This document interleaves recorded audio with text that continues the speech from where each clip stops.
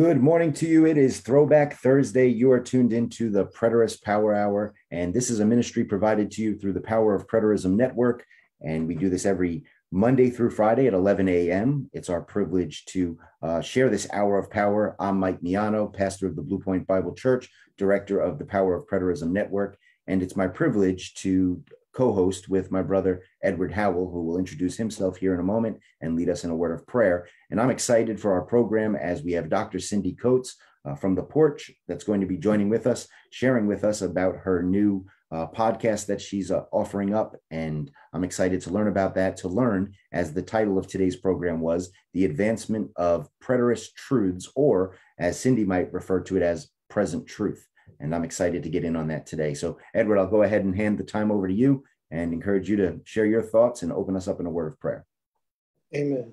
My name is Edward Howell, and it's always an honor and privilege to call Pastor Michael Miano. I'm a member of the Blue Point Bible Church and also a board member of the Power Preterism Network. And now I'd like to lead us in prayer. Heavenly Father, thank you for this time that we have together together, you know, in your name uh, for this Preterist Power Hour. Uh, thank you for Cindye Coates, Dr. Cindye Coates, that, you know, she's willing to share the manifold wisdom of God as she has come to know it. And I pray that, you know, we have open eyes, ears, and minds to receive that which we have. Bless her and bless Pastor that they may, you know, have clarity of mind and proper focus to give us uh, a message in uh, with clarity that we may glean through it, where we can repeat most of it uh, and uh, share in conversation and, and fellowship with one another. In Jesus' name, amen. Amen. Appreciate amen. that. Good hearty prayer there, right? Amen. Yes. Uh, you know, if I may just uh, jump in on some thoughts here before we welcome Dr. Cindye Coates. Uh, it's Throwback Thursday, and Edward, you know, I love to bring up some uh, you know things that were posted or shared throughout the past couple of years uh, there's matter of fact there's some resources that i'll be sharing in our blog update uh, from this program that dr cindye coates has joined with us uh, here at the blue point bible church as i mentioned before and also the review and redeem conference that we held online in 2020 hosted by the power of preterism network. Uh, i'll make those resources available for you to go back and review some of those things. Four years ago today i posted on social media which again leads us into this conversation of present truth. I wrote this We can now put on Jesus Christ, or better said, the robes of righteousness that we read about in Revelation chapter 22, verse 14, Matthew chapter 22, verses 1 through 14, as well as Isaiah chapter 61, verse 10. And we can come into covenant with God, which is the, the, the uh, recitation that we see there in Revelation chapter 22, verse 17, uh, when there's a new heavens and a new earth, that now, you know, he will be their God and they will be his people. And that's what we celebrate as a present truth, not something we're waiting to be assured about or to be to see, to see or to live in, but rather today living in that reality. And uh, that reminds me of this, this theme of present truth. And uh, that's exactly what we're going to move in on today. So uh, as you see here on the screen, this was our graphic uh, from today. Uh, Dr. Cindye Coates has a podcast entitled Present Truth Matters. And I'm excited to welcome you to the show, Cindye, and uh, to please uh, bring you on and ask you to share a bit uh, that you might think is important to the audience here, and then a bit about your ministries, and then lead us in on a bit of discussion about this podcast and the importance, or for that matter, why it matters. Well, first of all, thank you so much for having me. I am so honored, and it's always so good to see you, Pastor Michael. Um, it's been a while since I've been up your way. Um, mm. I love Long Island. Oh my goodness. I have so much fun in New York. New York is like one of my favorite places ever to go. Um, and those who are tuning in are probably asking, Oh my goodness, where are you from, lady? Well, I'm from Atlanta, Georgia. Okay. So that's why the Southern accent as compared to um, Pastor Michael, who's in Long Island. So, you know, the preterist message is spreading all over the country, okay? From New York to Florida, all the way to California, and all the way up to Alaska, Hawaii, and beyond. And I'm so excited about that. Um, one of the things that I was led of the Lord to do quite a few years ago now, I don't even remember. I mean, it's been a while, is I started a Facebook group called Preterist Churches mm. because I knew that so many people felt like they just came in to this amazing truth and they don't have fellowship with other believers on a local level. And I thought, you know what? We need to remedy that. So I thought, well, my husband and I, um, Dr. Stan Coates and I, we have planted seven churches. And um, we thought, well, maybe we could plant some churches on Facebook too, you know? I mean, we could have virtual churches, we could have um, people um, connect with each other and discover, oh my goodness, you live in the same town as I do. Or, oh, you're just like two hours away. Maybe we can meet once a month and and have some time of worship and prayer. You know, like organically create this amazing um, connection because we do need that. We need that very, very much um, because we actually want to share it with other people. And we also want to be able to have um, a flow in a conversation with people where it's not like a constant, what do you mean by that? Oh, um, you know, you don't want that. You don't want this like kind of difficult um, uh, connect. Well, you know, you don't want those difficult, awkward conversations with people. It's fun to be able to say, oh, and you know what? The Lord showed me this in the word. Oh, and so it's like when when we all get together and we're all like completely whoa, you know, you're kidding. That's so good, you know, and it's so, so, so, so good to connect with people who are on a journey for truth. And so that that's something that that um you guys that are watching this, take advantage of this group, uh, Preterist Churches, and please do share that with your friends who are also looking for fellowship in, in their local areas. And we want to create like we've discussed before, Pastor Michael, we've discussed having regional conferences where we'll mm-hmm. go around and, and kind of draw people together. Now, uh, on that note, the first weekend of August of every year, we have here in Atlanta the Parousia weekend. Mm. And because that's the year, or actually, that's the weekend uh, where the temple was destroyed.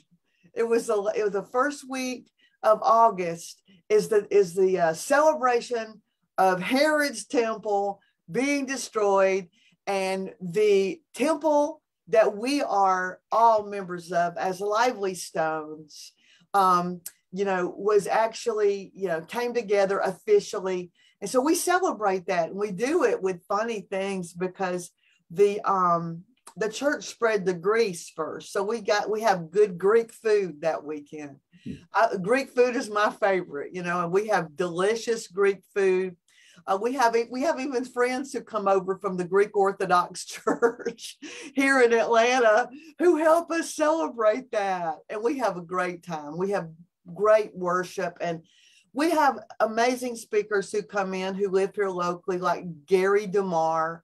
He'll come up and he'll share his part. And you know, Gary, if you're watching, you'll think this is funny because um, I always say to him and his his friends who come, um, they're Presbyterian, okay, so they're a little more reserved than we are, and I always give them a a, a uh, I give them a, an open uh, invitation to um, be excused during our worship time and go to the pub and have a cigar and a brandy if they want that. I say, y'all go ahead. That's not my culture.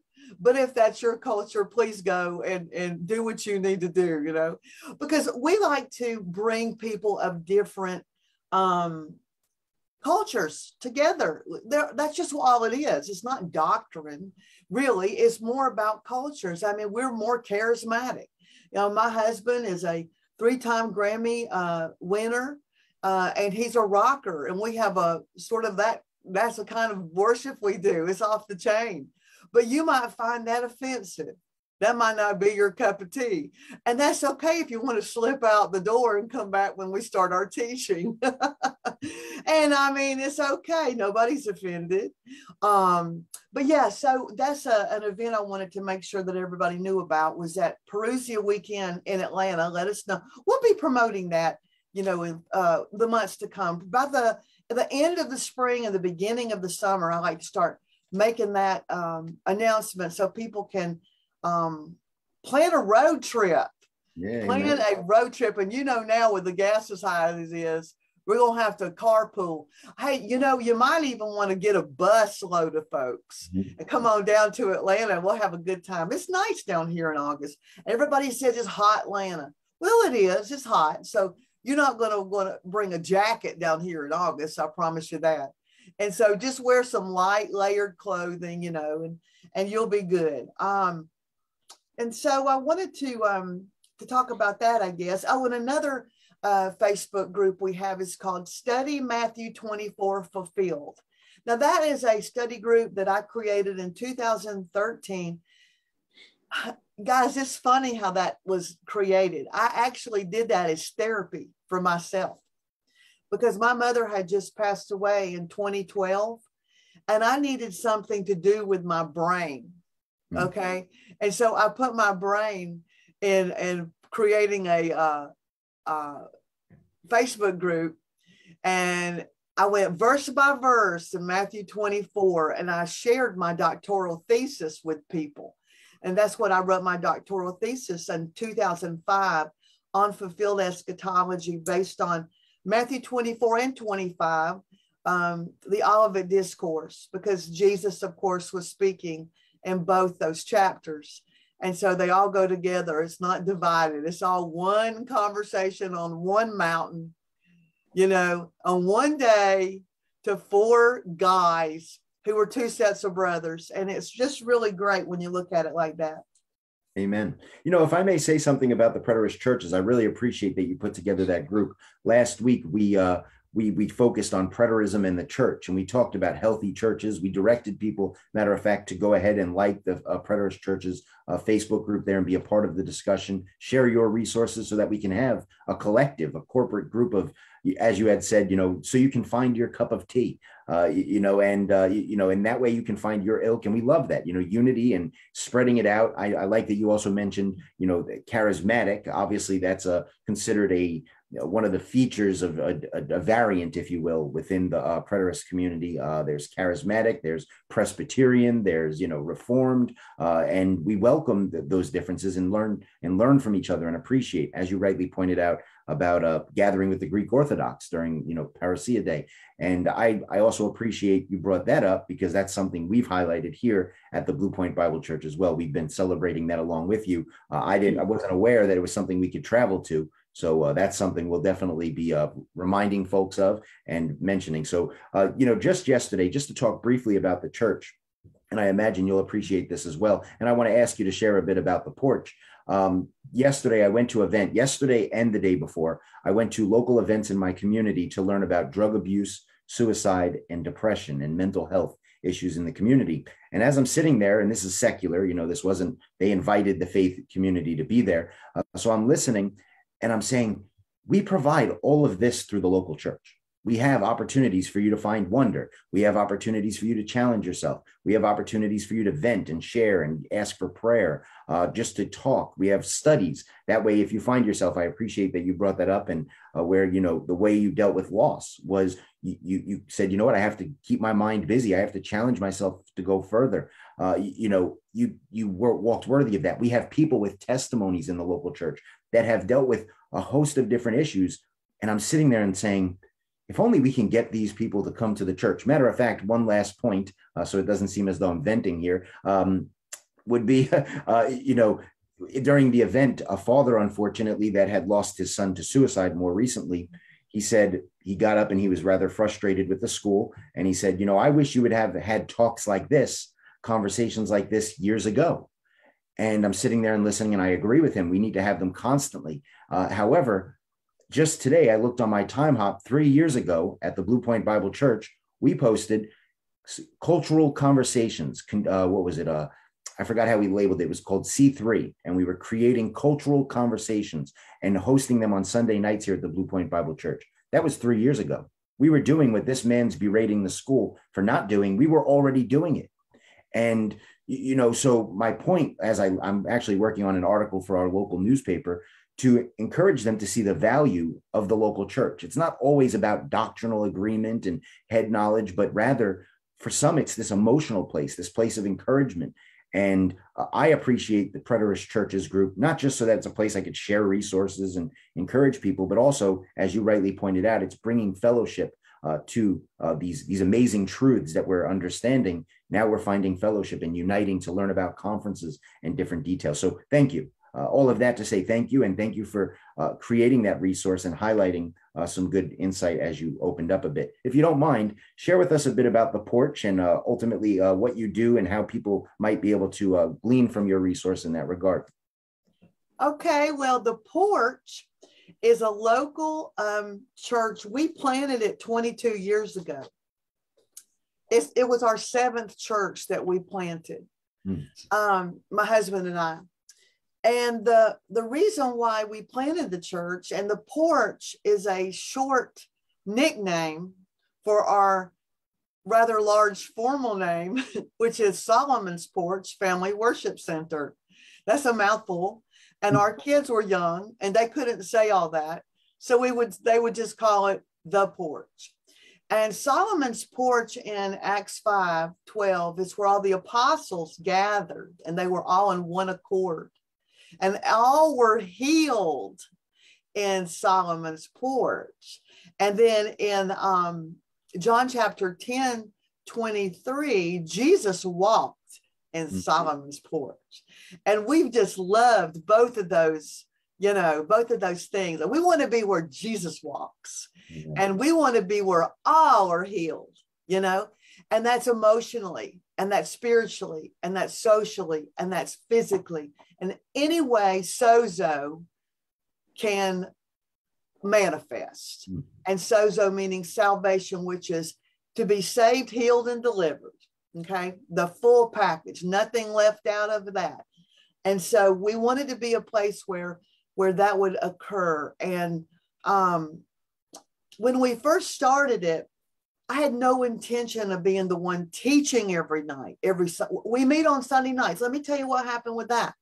We started our church, and this might help some of you pastors or people thinking about planting a church. We decided, well, we needed space, number one. And when you're a new church plant, it's really hard to find a building on a Sunday morning where you can uh, occupy. So we couldn't find any space on Sunday mornings. So what we did is found a hotel that we met in on Sunday nights. Hmm. And you know that was such a wise thing to do because it kept our sons away from parties because hmm. they had to go to church on Sunday night, I mean Saturday night. And we didn't realize how wise that was until later, you know, our son started getting involved or, or you know being asked to go do things oh man i got church on saturday night. What are you guys catholic or something? Is that a mass? But no we weren't catholic but we did um, meet on saturday night which was really unusual for a non-catholic but that's right. what we did for years and years and years. And our our sons actually grew up in church on saturday night. We changed all that to sunday night when they got older, it just seemed better just because of different reasons. But anyway, we stream um, on Sunday nights on Facebook Live if you're out there and want to connect with it. Um, like I said, I didn't start out because we we planted that church in 2000. I did not receive my doctoral uh, degree until 2005. But in 2000, my husband is an amazing musician, singer, songwriter, and worship leader. He's also a, um, his background is banking um, and administration. He worked for a huge law firm, um, not as a lawyer, but as uh, someone who keeps lawyers organized. So, as you know, my husband is a very organized person. So, he's an administrator and he's very administrative and he's also very gifted in music. But he recognized early on that my uh, my gifting was teaching. And he said, You need to teach. And I said, Well, okay. You know, I taught for years, guys. I have taught every core subject, K 5 through 12th grade, and I taught college. I, I have been teaching my entire life. I started teaching when I was 16 years old. I started teaching um, vacation Bible school in the Baptist church. And, and I've been teaching ever since. I've taught youth groups, I've taught ladies groups, but I never have taught mixed groups with adult men hmm. until my husband said, You need to teach. And I said, Well, what about what the Bible says about women teaching men? Hmm. He goes, Women teach men all the time. I mean, they teach, and I said, Well, you know what the bible says about you know women need to stay in their place and and they can't usurp authority. And he says who's usurping i'm telling you you need to teach. I'm a man. I'm telling you you need to get up and teach okay? And i said i guess that's not usurping no. He goes look that's your gift. He goes it's not my gift. My husband teaches koine greek and and that's his minor. He he went to Bible college and he went to seminary, and his major is uh is music. His minor is Koine Greek, and he teaches Koine Greek. But most people don't want to sit and listen to somebody teach Koine Greek on Sundays. They just don't. I mean, they might like it for one or two times, but after a while, you know, their eyes are going to glass over because he's going to get into declensions and and conjugating and all that. Nobody wants to hear that. You know, they want to come in and know how to put groceries on their table and gas in their tank and get along with their family. You know, that's basically what they want to learn how to do. And they don't want to be scared about the future. They want to learn, you know, that, you know, the the Bible prophecy's been fulfilled and now we're walking in the kingdom and we're to be fruitful, multiply, replenish, subdue, and have dominion. That's what they want to learn. That's what I teach. So um, that's the porch, and you guys can tune in. We got people that are actually um, members. They consider their themselves a member of the porch, and they don't even live in Georgia, but they tune in on on Sunday nights and they feel connected to us, which I think is beautiful. And um, and you why not, you know, but if you can be in a local church, please do, because that's better. You want to have people near you and close to you if possible. But if not, this is a great um, alternative, I think. So that's the porch. I appreciate you sharing that. We're going to keep that as one of our resources. What we're working on, matter of fact, through the Power of Preterism Network is a resource called Preterist Weekends. And what we're looking because we only have the Preterist Power Hour Monday through Friday. So we said, what could we provide for the weekend? And we're putting together a resource where it's combining the host of resources that are already out there. Preterist Churches as a Facebook group. Uh, Tony Denton has a group called PretNet where he uh, puts together, you know, networking preterists in their local community where they might go grab a cup of coffee or organize some thoughts. So you have that. And then I have some running lists of churches of uh, different networks. We have Team Preterist, which is a network of preterists that have said, we will focus on furthering the, the, the preterist truth while disagreeing in a host of different areas. So uh, that's one of our other ministries through the Power of Preterism Network, creating that network uh, for others. And uh, so, my point being, we're going to create preterist weekends where our goal is to, yes, of course, encourage local worship, but also uh, if there's opportunities like the porch or other opportunities similar, we'd like to keep them there so people have a one-stop resource uh, to, to, you know, for a preterist weekend. And uh, whether it's, you know, I want to plug into a local community that's maybe preterist friendly or a preterist congregation, or uh, I want to uh, go online. So thank you for that. And we'll make sure we include that in the resource. And you said a host of other great things about, uh, you know, about the preterist movement and the preter and church, the importance of church. Uh, but again, we focused on that last week. I want to encourage people to go back to those resources and uh, continue to watch for more in that regard. What I want to get into is you mentioned this teaching gift. And of course, you have this podcast now uh, that you're doing. If you don't mind, I'll let you just kind of outline uh, how you came across this opportunity. What is it in regards to opportunity, as others might not be familiar with the charismatic network that you're uh, hosting through? So please share with us a bit and, uh, and ultimately what you're looking to do uh, through that podcast. Awesome. I just so appreciate this. I just want to say this. You know, I so appreciate you allowing, um, you know, a little space here uh, for us to um, share what we do down here. Because, you know, sometimes it does feel as though you need other people, you know, to know where you are and what you're doing. So I really thank you for that. That's a, you have such a hospitable heart. And you know what HOSP is? H O S P. I know you do because you're you're intelligent like that. but some of those uh, who are watching, H O S P, HOSP, um, it is a Latin prefix. Here I go teaching again. I'm here. Here I go, but it's a Latin prefix, and it means um, well. Okay, we use that word hosp in hospital, hospice, and hospitality, and it actually means healing. Hmm. So when you are uh, hosting things like this, Pastor Michael, you're bringing healing to the body of Christ. Amen. So I, I want you to see this as far greater than probably what you've seen before as um, a, a, healing ministry. You have a healing ministry um, in, in lots of ways. I mean, when I was there, real quick to brag on Blue Point, I was so, so amazingly inspired by what you were doing with people with alcohol addiction in the community. Y'all had this program for people with alcohol addiction. I just thought that was amazing. I mean, I was an alcoholic in 10th grade. Um, I was a teenage alcoholic. You know what drove me to alcoholism? The uh, dispensational futuristic eschatology scared me so badly. Mm-hmm. It drove me to alcohol because I grew up in the church and the church scared me. And as a teenager, I thought, oh my goodness, I, I'm surely going to be left behind and be beheaded and God knows what.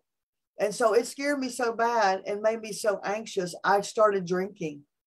Hmm. And so, I mean, the connection with bad eschatology and teenagers, and that just brings me to this real quick before I talk about the podcast.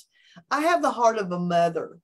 Um, and I guess having the heart of a mother, I have two sons, one's 34, the other's 27. And I've taught young people my entire life. And so having the heart of young people, of children and youth, um, it compels me and it beckons me to move forward because we just have to make sure that they know truth and they walk in peace and hope because that is going to help them determine what to do with their lives and to plan their lives. Um, but anyway, uh, back in 2020, um, when everybody was shut down and locked in and all that, uh, I got all these invitations to be on people's uh, Zooms and their podcasts and things like that. So many I lost count. I thought, well, I guess this is the way it's going to go for a while. so, and people were, you know, saying, oh, people don't have anything to do but sit around and watch the internet, you know, listen to um, their phone. And I said, all right. So I um, was invited by a guy I had never met before, but I actually loved him. He was a Marine and he was from Virginia and he was very amazing. You know, he just reached out to me out of nowhere and he asked me to talk about Matthew 24 fulfilled. And so I thought, well, I could do that standing on one foot with half my brain tied behind my back, you know. I mean, that is that's my jam. Let's go, you know, I love it. And so um, we had, had a lot of fun with that. It was so fun. We were laughing because, you know, you just have to have fun with this because it is so liberating.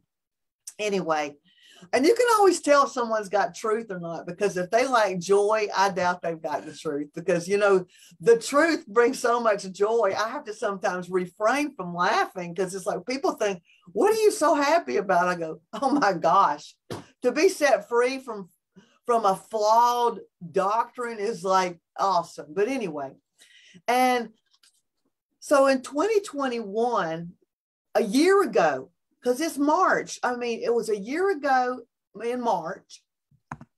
I get a phone call from a guy from Charisma, Charisma Podcast Network. Now, it's the same people that publish Charisma Magazine. If you guys have heard of Charisma Magazine, they have built a brand 40 years. They, they have spent a 40 years building a brand Charisma Magazine. It's based out of uh, Lake Mary, Florida, which is right north of uh, Orlando. And so I get a phone call from them, and this young man says to me, Hey, um, I wanted to introduce myself to you and uh, ask you, would you be interested in having a podcast channel? I said, What? How do you know who I am? He goes, Well, we were listening to, uh, we were looking at our numbers last year, 2020, and um, we get 7 million downloads a week on our channel. By the way, Charisma is the number one Christian podcast network in the world. They're global. They built a brand 40 years, like I said. And he goes, We um were looking at our numbers last from last year, and we saw that there was a uh, show that you were on, and we got like it was in the top top five percent of downloads for the year. I went, what what show was that? He goes, um, it was on uh, what he said, however he said it, but he goes, it was October the 6th. I go, oh my gosh, I remember that. That's a day after my birthday. That was with Jared Lasky. Yeah, with Jared. Okay, gotcha. The Marine, you know, the guy that I like, he was really great. And um, I said, sure. Okay, I know. Okay. I said, but wait a minute. Did you happen to listen to that podcast? He went, I can't lie. No. I go, I hope you can't lie. My goodness. You know, that expression cracks me up. When young people say that all the time. Oh, I can't lie. I go, what? Well, my generation says to be honest. Honest. Yeah, right. it's so funny, right? What are we saying that for? But anyway, um, I'm a boomer, so we had our little cli- cli- cliche too. But mm-hmm. um, the thing is, is that I said, okay, so you didn't listen to it. Well, maybe y'all need to because I'm not sure. I said, why don't you go ask uh, Stephen Strang, who owns it? Go ask Stephen Strang if it's okay that I'm on your your deal because I'm not sure if if I'm gonna be a good fit or not, you know, because I'm gonna kind of teach everything y'all against everything y'all teach. Okay, so I mean, it might not be, we might have a conflict of interest here, and I don't want to cause trouble, you know. And so he got back to me and said, No, no, no, you're cool. Come on, you know, we want you to be a part. And I said, This has got to be a miracle from God. Really. For that platform, which is very dispensational, very like over the waterfall. If you go to that Charisma Podcast Network and you look at all the podcasters, you're going to see people mm-hmm. that you know teach exactly the opposite of what we teach, the op- the counter opposite. And I look at them and I go, God, only you could put me in the midst of that. Right. Because it's like Jesus teaching in a synagogue. You know what I mean? Mm-hmm. It's like he's over here, he's over there teaching it against everything they teach. And they invite him in, and here he comes. You know, that's what I feel like. Jesus is teaching in a synagogue. Um, but okay, we'll see how long this lasts. But you know, as long as they, you know, roll out the red carpet, which they have, which I find very do y'all know the expression of being slipped a Mickey? Well, that's mm-hmm. kind of like what I feel like is going on here. You know, somebody's getting slipped to Mickey. But um, somewhere along the line, God is using his ultimate wisdom and, and favor. Can I tell y'all about favor? Mm-hmm. Listen, it's a it's a miracle. Maybe it's because I'm a female and nobody sees it coming. You know what I mean? Because they go, surely she's not smart enough to talk about eschatology. She's a woman, for heaven's sakes. And what did they know about anything? Maybe that could be it. I don't know. But I'm going to go along with it. Whatever God wants to do to use it. Surely that woman with a southern accent doesn't know very much, you know, that would rattle anybody or rock a boat, you know. But I I do. I, I present I, you know, the irrefutable, in my view, fulfilled eschatology. It's irrefutable. Once you see it, you can't unsee it. But anyway, they invited me on. This is the great thing now. It wasn't free, guys. This isn't a free deal. It was it was um seven thousand dollars. Hmm. And I thought, well, okay. Um, they said, you know, we'll give you a discount if you can come in on the first quarter of the year. Um, and that was 50% off. And I'm going, well, they built a brand. And here's what most people think why don't you just go do a podcast and put it out there for free somewhere? I go, well, that's great. But look at the look at the brand they built. Mm-hmm. I, I thought, I don't have 40 years to build a brand. So if I can come in at $7,000 on a platform that's already built a brand like that, and I can have a voice in that platform, I think $7,000 is very, very, very doable. But I didn't have it. Are you kidding me? And so I went out on my group that I have, uh, uh, Matthew 24 Fulfill, and I said, okay, guys, we've got an opportunity here. Um, I'm going to need some help doing this. And so if you guys feel so inclined, you know, to invest, I don't want you to, to give money. I want you to invest. Okay. Just invest. If you see this as an investment to reach, because they reach um, 150 nations. When you take this message into 150 nations on a, on a platform that's been built for 40 years, and, and it's like their ceiling is our floor. You know what I mean? Mm-hmm. And if we can take their ceiling and let that be our floor, and if y'all can see that, and if you can, if you feel like, you know, I want to put some some of my money, my hard-earned money, into this because I see that it's going to be good. I said, guys, I have uh, like eight hours because this was on March 30th. I said, I've got like eight hours to raise this money for, for us to get the, the 50% off deal. How about that money came in? That money came in. My PayPal blew up. My Cash App blew up. My Venmo blew up. I gave them all that. I said, y'all just go ahead and, and, and give what you can. We'll see what God does with it. I had to get on Facebook Live in that group and go, okay, y'all don't have to give anymore. We got it. We got it. We got it, y'all. We got it. You know, you don't have to give anymore. We met the, we met the budget. It was a miracle. It was a miracle how the preterist community came together and said, oh, wow, you know, if God's given her favor, well, let's just go with that. Well, the name of my podcast is Present Truth Matters with Dr. Cindye Coates and friends. And friends. So mm. I can invite my friends on there. How about that? How about all you preterist guys out there who have written books and have your thing going on? And you got you can come on and be a be one of my guests. Be one of my friends. See? See what God did? God allowed me to get on there so you can get on there. That's what I think is beautiful because I don't see it about me. I see it about us because we are a united front and we are one voice as far as I'm concerned. We're, we all worship differently. We all have different cultures. There might be a little this and that that we might disagree on, but no, keeping the main thing the main thing. That's what I'm all about. So I find what we can agree on. You might find this funny, real quick, uh, Pastor Michael, but I am a Republican that really does uh, lean libertarian. When I say Republican, I mean whatever that means Republican, conservative. But when I went and knocked on 5,000 doors in my district when I ran for state house in Georgia, my district is 75% Democrat.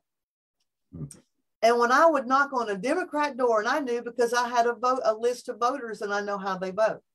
I go there and I have my little list, and I'd say, "Hello, are you um whatever their name was?" They'd say yes. I go, "Well, nice to meet you. I am Dr. Cindye Coates, and I'm a Republican, and you're a Democrat. Let's get that out of the way. Now, what can we do to work together?"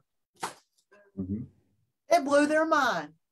I go, you and I could sit here and argue on this porch all day long about what we disagree on. What do we agree on? How can we work together? What can we do to help the people in this community together? Let's forget about our uh, political affiliations. And they're like going, wow. I go, what matters to you? Do you like to pay high taxes? I don't. No. Oh, let's see if we can stop doing that. Mm. And things like that. Well, the same idea we need to take into the preterist movement. We can disagree on things, politics, you know, worship styles, and all that kind of thing. But what do we agree on? Let's find that. Like what you're doing you, at your church, you know, helping people through emotional trauma and through uh, alcohol addiction and and through all kinds of things. As a pastor, that's what you do. You help your community, emotional healing, and bringing people into a family, showing them they belong someplace. You belong with us. We're your tribe. You know, those kind of things. So important. And that's what we need to do and, and transcend so many things that I my next podcast, I want you guys to go to Present Truth Matters. That's the name of my podcast. Present Truth Matters on the Charisma Podcast Network. You know what my next podcast drop is called? It's called uh I changed it a few times. Give me a minute. I got to remember what the final edit was. Constants and variables. Mm constants and variables. If we will focus on the constants, mm-hmm. what's eternal, what's always and forever, versus the variables. The mm-hmm. variables, you know what's a variable? A marital status. That's a variable. there in your lifetime, you will be most likely single, married, and possibly widowed, and maybe divorced. Does that change who you are? Mm. That is a variable. A constant is that you are a child of God, you're loved by God, and you are a very valuable part in the kingdom of God, and the body of Christ. Mm. That is the that's the constant. And so I'm going to be talking about constants and variables in life and constants and variables in scripture. Amen. That's you said a lot actually. You know, there's a quote I have from you that I wrote in my notes today uh, that I saw on social media. And it, it's paraphrased, but I like the ending part. I like the whole quote, but I'm just going to read the part I quoted. I am for the kingdom of God. We don't take sides, we take over. And I thought that was a great, uh, a great point there, you know, and that's what we need to be focused on. I think you highlighted that well. And, uh, you know, in regards to the podcast, I believe that, uh, you know, uh, part of my understanding of what you're doing is you're speaking the language that people need to hear this truth through. As we know there's many different ways we hear truth. And being that you're speaking to that charismatic audience uh, there's you know as i like that you don't always post you know uh, full preterism. It's more you know present truth. Because again that language speaks to people. They understand oh i see it, it's talking about the kingdom now. It's present. And how that truth uh, you know matters in my life. So you know i appreciate that and I, I i think that's a big part of the success that god is is bringing forth is that when you speak to people in ways that they can understand you know you benefit them greatly and you also challenge yourself to to you know under help under them understand and help yourself understand them. So uh you know I, I appreciate that and i appreciate the opportunity you're putting forth in front of people as well as for us uh, to see the advancement uh, of truths that many of us hold so very dear. And uh, edward please jump in brother. I was just going to say, I like that part of the quote that, that uh, we don't take sides, we take over, because uh, Cindye talking about uh, how she's uh, being part of this network of that's already established, you know, that have a lot of things that's opposite of what we're teaching, and being that she's placed in the midst of it, you know, it's good that she could possibly take over because Jesus, how he sent his apostles in to the world as sheep, you know, amongst wolves and things of this nature, you know, and to go into, you know, the areas that are inundated with idolatry and things of this nature, for them to go in and overshadow them with truth. You right. know, so that's what she's doing, which I, you know, I applaud. Yeah. Amen. Thank you. And, and, you know, I, if I may just say on top of that, you have to put yourself in position, uh, you, you know, in order to take over. You you have to be there. So, you know, good point, Edward. Uh, you know, and, and Cindye, thank you. You are doing that. Um, you know, so uh, again, you there were so many great things. I do want to encourage people. If you're on Facebook, you know you can follow Cindye Coates on Facebook. Uh, I'm sure you'll share some details for people to communicate with you here in a moment. Uh, reason being is you often share these things called theology jolts. And I love when you do that because, again, there are some really great details. For example, uh, the last couple days, we had been highlighting Gog and Magog, obviously a very popular topic right now for a lot of people. Um, you know, those that focus on biblical prophecy, uh, they, they see this as a big deal. Um, we know Bible prophecy fulfilled, uh, probably not as big of a deal for us. However, there's good news that comes in the midst of this. For example, you you wrote a, a, I believe it was about 14 or no about four different details that I noted here. No, there was more. I'm sorry. There was 14, correct? Uh, 14. Yeah, it was it was long. It was good, and uh, you know I went through it, and obviously what you highlighted there was uh, the battle of Gog and Magog that we read in Ezekiel 38, 39, mentioned in Revelation chapter 20, verse 8, in a different context, I believe. Uh, but you highlighted that it was fulfilled in Esther. And that's something we had been uh, talking about on our program. You brought up Gary DeMar. Gary DeMar has brought out some great resources in that regard um, that we had encouraged people to look into. So uh, I'll give you a moment to say something about that if you'd like. However, I'm going to share that on social media. People could go ahead. Matter of fact, we're going to write a blog that's going to include this podcast. And on that blog, you'll find those 14 points listed there as well. Uh, because again, it contributes to our conversation that we were having uh, yesterday. So thank you. And uh, if you wanted to share anything uh, to maybe uh, whet somebody's sense in, in regards to what you shared there, uh, I'll go ahead and invite you to. Thank. Well, thank you for that. I appreciate it. Um, I thought it it was it was interesting how Purim is coming up. Mm-hmm. So we've got Purim, which is the feast of Esther, and it's um on I think it's on St. Patrick's Day this year. I think they're one and the same. Um, usually, the feast of Esther or Purim um, are are very close or oftentimes on St. Patrick's Day, right around there. And I wrote a a novel years ago that I've not published, and it's called Esther St. Patrick, and it's about a woman who is um, who, whose uh, mother is Jewish, and her father is Catholic, and it's how she came into uh, the awareness of present truth. Hmm. And how she saw both uh, as as not what she wanted. She knew there had to be more. She knew there had to be more than going to uh, mass and with her daddy, and she had to know more than going to the temple with her mother. That there had to be more. She was void, and and and it's it's really a little novel where a young girl or a teenage girl could read it and find her way into present truth. And mm um, it's called Esther St. Patrick because um, I've always thought it was interesting how those two go about the same time of year. And what a beautiful gift to give a little girl or a, a teenage girl uh, in March, you know, the month of March. Um, but anyway, with that, I started thinking about, you know, something to add to that book. And so I thought, wow, okay, I'm going to add this truth to that book. Mm-hmm. I'm glad I didn't publish it yet because this is so huge that in Ezekiel um, 38, where it talks about Ezekiel being a prophet and he sees into the future a hundred years from the time he wrote it of a battle in Persia. Okay. And that battle took place in the book of Esther.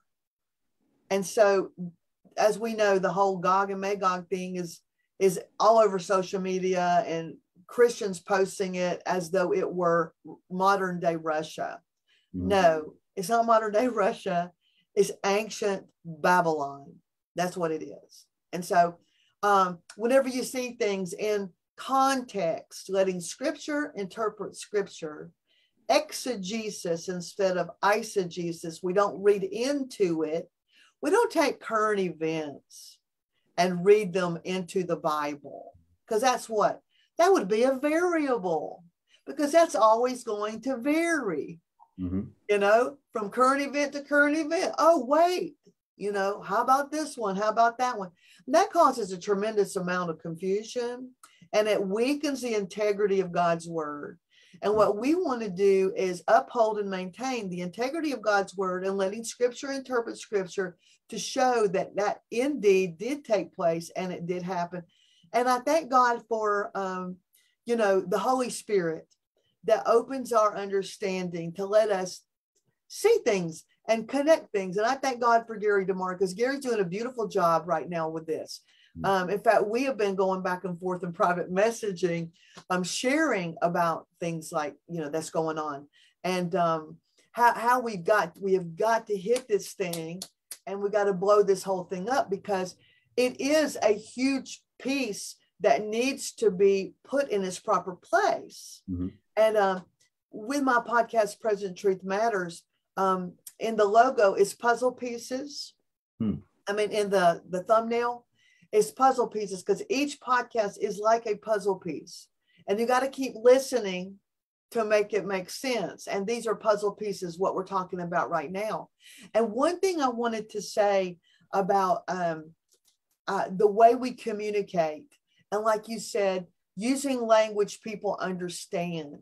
Um, I was convicted to use the, the term present truth because people go, okay, so if that's present truth, what's past truth? And I go, oh, I'm glad you asked, you know, because that opens up a conversation. But, you know, um, we don't, this is important. This is something I learned, guys. I have been trained by Dr. Steve Greene for one solid year with charisma. I've been sitting in his seminars for a year, and he's the best of the best. That guy's a marketing genius. And do you know what he has taught me? He has taught me that you have, you don't do a podcast to be understood, and you don't write a book to be understood. You do a podcast and you write a book to not be misunderstood. And if we approached our communication skills with that, instead of like, oh, I want to make people know what I'm trying to say. Well, that does, you know, that's not empathetic. We have to bring in empathy when we communicate. Because what's the point if they don't understand you? Mm-hmm. Or more importantly, make sure they don't misunderstand you. We have to be so direct and so plain spoken and speak in terms that the and like it's sad, but we have to write on a seventh grade level, mm-hmm. maybe a fifth grade level. We have to write like that. We can't use words that are difficult to understand, or um, we can't use like you know. I mean, forgive me if this offends anyone, but I have taken out the word thus in my writing because nobody says that. They don't say thus, you know, you know, they just don't. And there's like uh, in my editing, I've had to pull out, I have to go about when I write all this, what I how I write, by the way, is I just write, write, write, write, write, write, write, you know, and then I go back and look at it and I go, that could be misunderstood. And that could be misunderstood. I got to rewrite that so that that's more simple. That mm-hmm. sentence is too long. I use words there people don't use unless they've got a PhD. And who am I trying to reach? Those people? Maybe some of you guys out there, maybe that's what you're called to. You're called to reach people with a PhD and a doctorate degree. And that's fabulous. I don't think I am. Mm-hmm. I don't think that's my audience. You got to know your audience. Right. Know your my, I don't think my that's my audience. I think my audience are soccer moms. Mm-hmm. Uh, my audience could be soccer moms. My audience could be um, pastors who don't have a, a degree. You know, pastors out there who don't have they didn't go to Bible college or they uh, they went to Bible college and they didn't finish Bible college. So they're feeling like they need more education. You mm-hmm. know, mm-hmm. they, they want to be more like, help me understand because I want to teach, I want to teach truth and I have lots of pastors call, write me like that, lots of them. And they go, I didn't get to go and get a doctorate degree. I started a family I had to have a side job. You know, uh, I had to work on the side and provide for my family, and, and, and I had to pastor at the same time. I cannot tell you how bivoc how many bivocational pastors out there like that. You know, they had to start a business or get a job on the side to take care of their family. Sure. And they couldn't they couldn't finish. So I I was able I homeschooled my kids from from kindergarten all the way through 12th grade. So I had plenty of time homeschooling to study the Bible because I studied it with my kids all the time. So I had plenty of time to write and study and teach. For 20 years, I did that. 20 hmm. years I homeschool.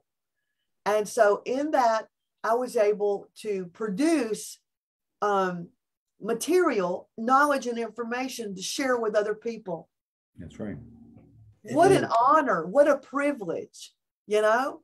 And and my husband had a business on the side and he worked like a one-armed paper hanger, mm-hmm. you know, to provide for us so that I could study and write and do what I'm doing. So I want to give a lot of kudos to my man, Dr. Stan Coates, who made it possible for me to study.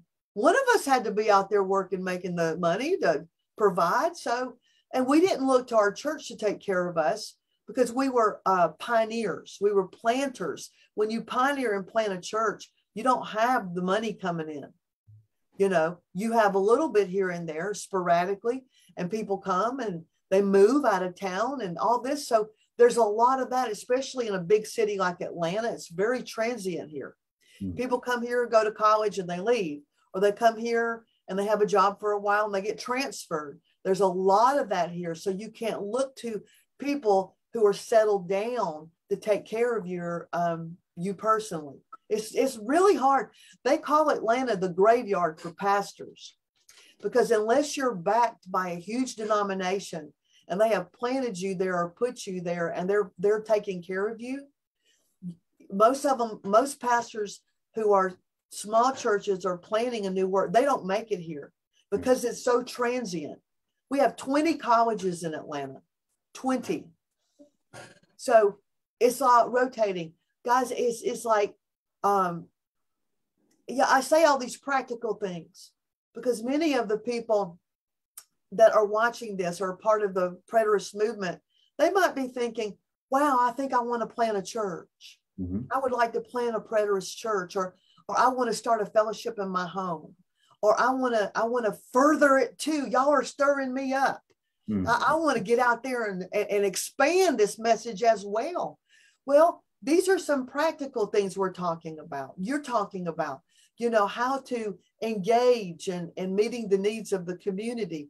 You have a beautiful local church. I mean, he has a building, an old building. When I pulled up, there was snow. It was whenever it had snowed, there was it was cold. It was snow on the ground. And We pulled up in front of your church. I went, oh my gosh, this is the most amazing place. I mean, God has so um, blessed you with a with a beautiful facility right there in the most beautiful town you know, in Long Island, New York. And and God may be doing the same thing. If I feel right now something in my heart, um, you are an inspiration. So are you, Edward. Thank you. You guys are an inspiration right now. You are showing people that may be interested, right, in, in doing what you're doing having a building, having a facility, reaching a community, and then doing this beyond. And I just want to say, you know, those people who are watching and listening later, this is so inspiring. And, and you might have felt isolated and alone, but you don't have to feel like that anymore. And I just pray that you become more and more inspired by what's going on at Blue Point Bible Church and in New York maybe what's going on here down in Atlanta with um, the porch and, and others, because you can pastor and teach and and and create. You can really plan an apostolic work, and I mean a continuation of the of the early church, you know, and and a continuation of what we see in the New, Te- New Testament, New Covenant, because Amen. it's endless. Uh, you know, those are those are good points. I appreciate that you brought that up. Thank you very much for the encouragement in that regard. And I will say, uh, it, it is that easy. You, you, know, Edward, Edward, you know, you just started your blog. Edward post, posted his first blog yesterday, awesome. thinking through theology, edhowell.wordpress.com. And, you know, uh, again, a long link, but we'll make sure we simplify it for folks and uh, you'll be able to go there and Edward will uh, offer up, you know, one of his giftings. And again, uh, I appreciate, I want to say this, Cindye, I, I thank you for walking worthy of your gifting. And I thank Stan for noticing that and empowering that as your husband. And, uh, you know, I, I, know that's an area of prayer. Uh, gave me the chills. Don't want to uh, make it that type of a program, but again, maybe that's a topic for another time. Uh, you know that that one body, that one unit working together, building each other up for the glory of God. Praise be to God for that. So, uh, you know, Edward, I, I, wanted to mention you and bring you in on our discussion because uh, you you're doing that. You're walking worthy. You've realized you've been involved, and you know you've uh, been receptive to my encouragement and my challenge, and you've walked worthy. So, uh, if you may, can you lean in on encouraging folks? How easy is it for us? Or again, it's not easy. Let's not call it that, but it's just putting one step in front of the other and and doing what you feel God is encouraging you to do. Edward, could you speak to that for a moment? Sure. I look at the importance of gathering together, you know, as far as, you know, the importance of uh, encouraging one another, sharing testimony, uh, sharing what we've uh, uh, learned, you know, with others, because it's not good, you know, to uh, acquire information and knowledge and not utilize it and not share it with others. You know, that's hoarding and that's being um, uh, omissive. Yeah. So, and having that foundation and gathering together and just walking, you know, in the uh, steps of God in Jesus Christ, you know, and just letting them guide me from the basics of going to church and seeing um, what I can do, what part can I participate in, and and just just continue in that, and then God will just open up doors, give you opportunities, and take advantage of these things. You know, uh, don't let fear overtake you. Uh, challenge yourselves. You know, uh, think out of the box. You know, get out of the boat. You know, uh, things of this nature. Uh, right.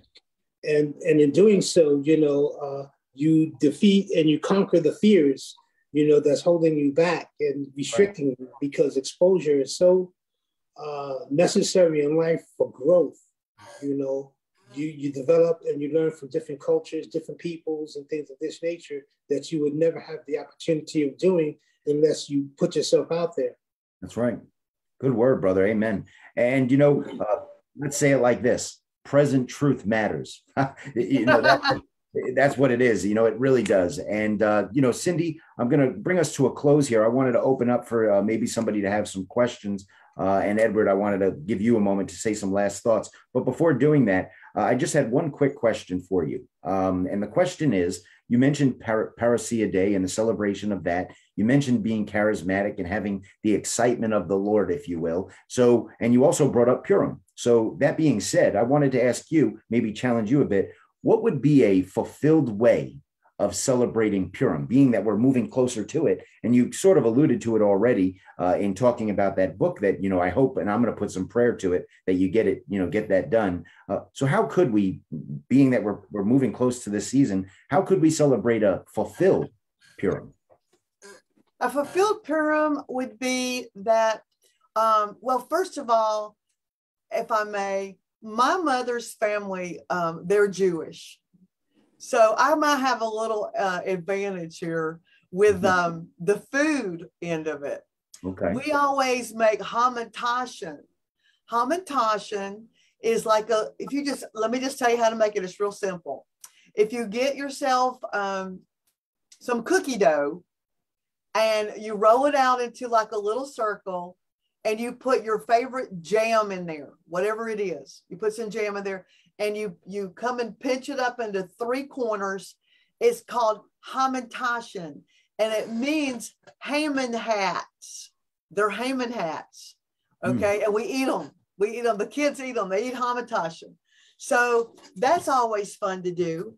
And then um, Esther, of course, was um, symbolic of uh, preserving the Jewish people of her uh, of her day, obviously, and in a present truth way of um, I would I would celebrate the victory hmm. of the um, Gog and Magog being um, fulfilled. Like we don't have to be afraid of the future. Has been overcome.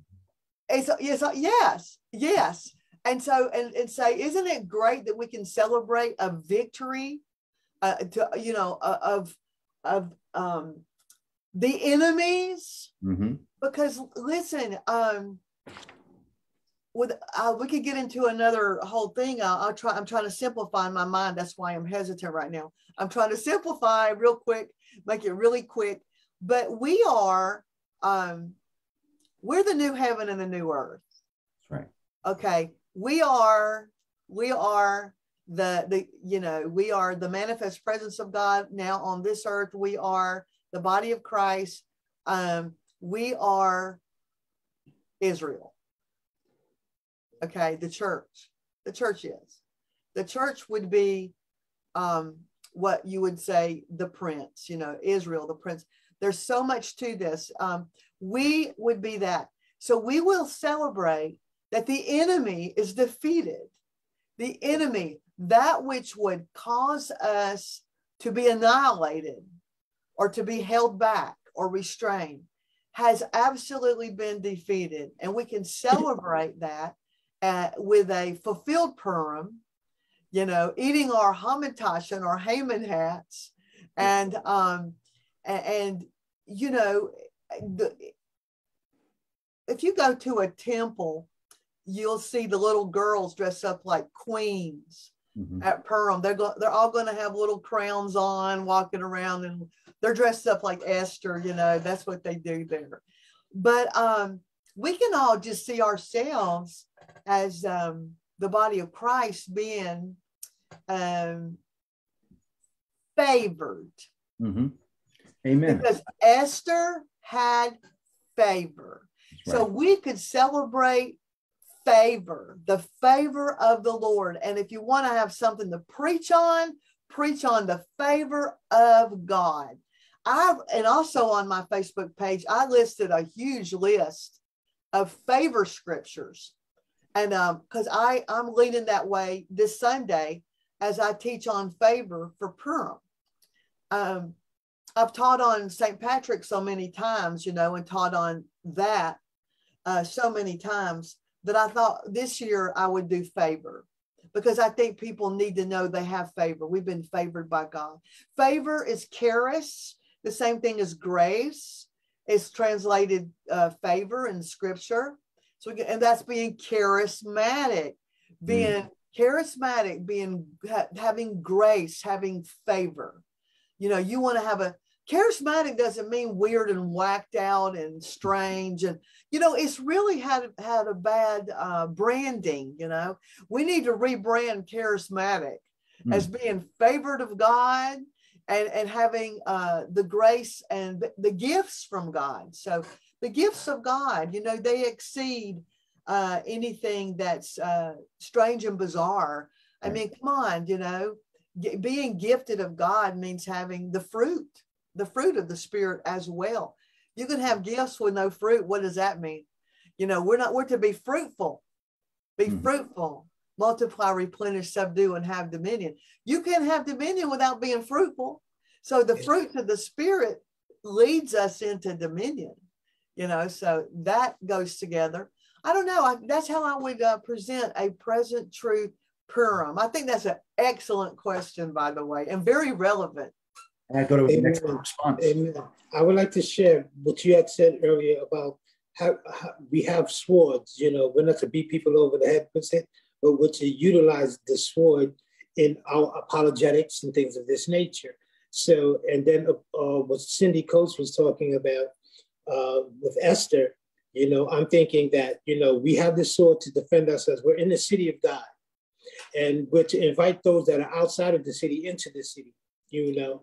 And, and in doing so, you know, we defend ourselves you know, with the word of God, with our apologetics and things of this nature, like in Esther, you know, the, the Jewish people, due to Haman's deceit, uh, deceiving the king to make that decree to uh, destroy the Jews, and Esther, you know, uh, having because uh, he could not recant his his his his thing. So Esther had asked him to uh, have the Jews where they can defend themselves. So I'm thinking, you know, we defend ourselves with the word of God, our sword, through our, our, our apologetics, and they were able to defend themselves in Esther, you know, to save their race or their, you know, their people, you know. So that's how I've had somewhat equated it. You know? Amen. I love it. I'll say this. Obviously, I could build on that thought quite a bit. Uh, if our enemies have been destroyed, right? We, we know the enemy has been destroyed, and therefore our swords, if I may encourage us, because that was something we talked a little bit about, about off air. Uh, I will say the reason why Christians have swords is to protect those they're leading into the kingdom of God. That's why, and to protect yourself against the adversary of the mind the carnal mind. Uh, that's your your sword, and that's what it's to be used for. Uh, prayerfully, that's an exhortation we might all consider as Christians. And there's also a scripture about having favor as a shield. Amen. Favor is a shield. So you've got your sword and your shield. The favor of God is your shield and the sword of the word of God. That's awesome. I'm telling you, we have a message brewing right there. Swords and Uh, uh, good word, Edward. I appreciate that. So, uh, yes, if you don't mind, I'm going to go ahead and move us toward a close. Uh, I do appreciate Terry Cashian weighed in on the comments. Said the over uh, the overcomers rule the nations with a rod of iron. The word "rule" is poem, meaning the shepherding the nations. Which again, that's our job to be shepherding the nations into the kingdom of God. Thank you, Terry, for tuning in and being a part of the conversation. Uh, with that said, I'm going to unmute some mics and uh, allow some questions, comments, concerns, encouragement, and uh, then we'll bring our show to a close.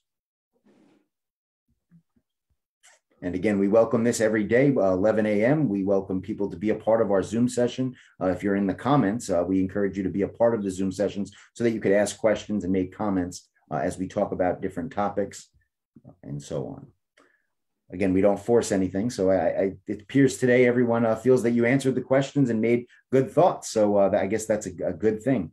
Um, Cindye, thank you very much for being a part of our program today. Thank you for walking worthy of your gifting. Thank you for bringing forth that motherly spirit, which again we know is all too lacking uh, within the preterist movement. So I'm hoping that other women of God that are involved with this movement might step up and say, God is calling me uh, to a work very similar. So uh, that's part of my prayer. And also, if I may say, I'm putting prayer to those pages of that book. So uh, if you feel the Lord pressing upon you, know that it's because we've been putting some heavy prayer into that. So thank, thank you. you. That that means more to me than you can ever imagine because it is something I do want to bring, especially this time of year in March. I think, oh, doggone it, I didn't get that book out, you know. Hmm. So that prayer is so it's just that's very very kind of you. I mean, that really really is, and I think it's needed. Um, so, Amen. Thank you. Amen. Thank you, sister. And again, we'll be tuned into uh, the the present truth matters. Uh, right now, I believe there's a four minute introduction podcast. I encourage people to go ahead and listen to that. And uh, we'll be sharing that through our resources. And of course, if you visit powerofpreterism.wordpress.com, that is our word, our blog site. Again, you could go to the simplified powerofpreterism.com and that'll bring you ultimately over to the blog site. Uh, and there, we're going to post a resource link with Dr. Cindye Coates. Uh, we'll share this podcast as well as some Throwback Thursday resources uh, that we have that we would like to share. And if I may just uh, say some closing thoughts, and Edward, I'm going to ask you to, if you have anything you'd like to share at the closing of the program, uh, but some closing things I'd just like to bring up, if I may find my notes here. Um, I mentioned the blog. Uh, where also uh, we have John Noe joining the podcast tomorrow. I believe that's very important to mention. Uh, I'm going to go ahead and share the graphic on the screen there. Friday, March 11th, we have Dr. John Noe joining us to talk about his ministry, Prophecy Reformation Institute, pioneering the next reformation of the Christian faith.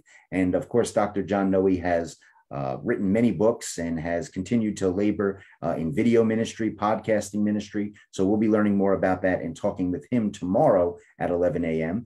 And uh, also, as a sort of throwback, I just want to bring up uh, we talked about covenant creation a couple weeks ago uh, and preterism and, and creation. Uh, we're going to return back to that conversation in a few weeks.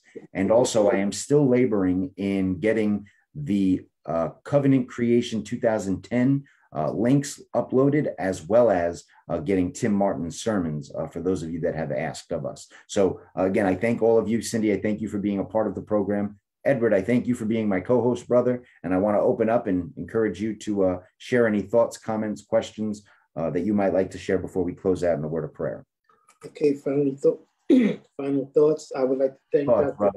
Coates for sharing uh, uh, in the Preterist Power Hour. And I hope that she would uh, give us another visit and share, share further, you know, and uh, I appreciate it. Uh, and thank you for uh, her time. Amen. Amen. And I want to encourage everyone to visit Thinking Through Theology, edhowell.wordpress.com uh, glean from Edward's uh, encouragements there. Uh, of course, right now there's an introduction blog uh, that will lead you to the Power of Preterism Network and the Blue Point Bible Church. So uh, thank you, Edward, for walking worthy of your calling as well. Uh, I think that's a great place to end our, our, prayers today, praising God for the opportunity to have this time together, highlighting the overcoming power of God's victory and the present truth. And I thank both of you for being a part of this, all of you for being a part of this. Uh, those of you that are tuned in here, a part of our Zoom session, those of you that are watching through social media, thank you. And all praise to God. Let's pray. Heavenly Father, we do thank you for uh, all that you've given to us. Your word tells us you've given everything to us pertaining to life and godliness.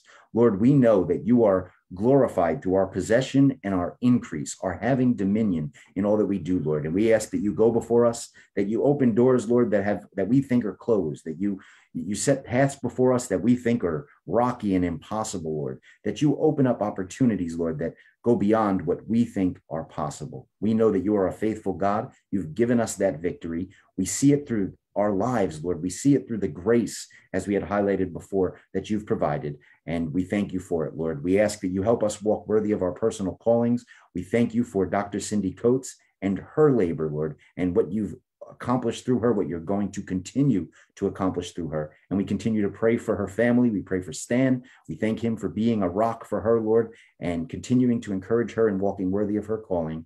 And we ask that you continue to provide blessings to their family. Lord, we offer this up as a sacrifice to you today, Lord. We thank you for your presence in our lives, and we ask that you continue to illuminate it so that we might follow you and see you more fully. In Jesus' name we pray. Amen. Amen. Amen. Peace. God bless. Thank God you. Bless. Thank you.